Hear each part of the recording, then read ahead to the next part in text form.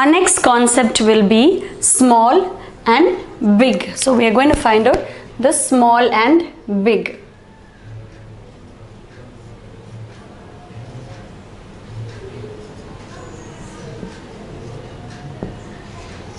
Just by looking at two things, we will be able to understand which is small and which is big. So, for example, I have the duster in my left and I have the whiteboard marker on my right. So, when we compare these two, we could say which is smaller, which is bigger. Just by looking at it, I can say that the marker pen is smaller than the duster or the duster is bigger when compared to the whiteboard marker. So now we have a small activity and in these pictures we are going to see which is the smaller and which is the bigger. So in my first chart I have the picture of a goat and a horse. So then I have to write which is small and which is big. So when you compare the goat to the horse it is small. So the goat is small and the horse is big.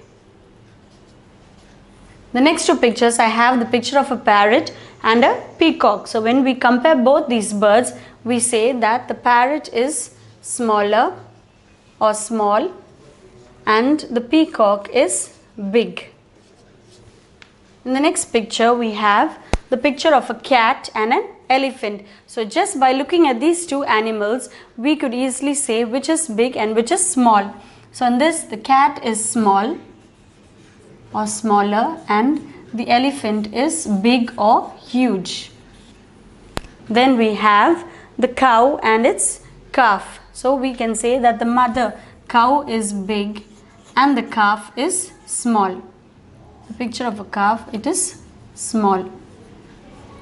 So this is the concept of small and big. As we've already learned the numbers, the smaller number and the bigger number, we have pictures of animals.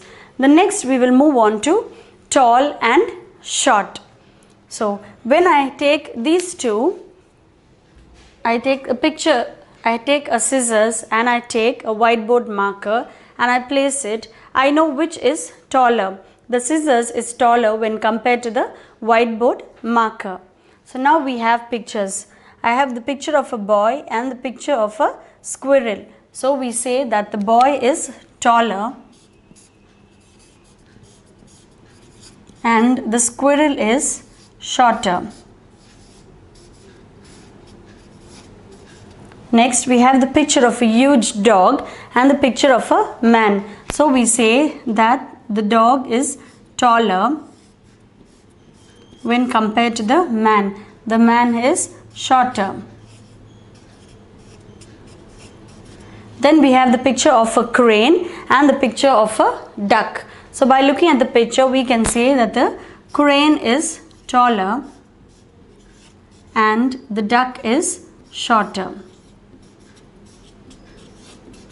So I hope you've understood the concept of big and small and tall and short. So just by looking at objects, we will be able to understand and check which is tall and which is big or small.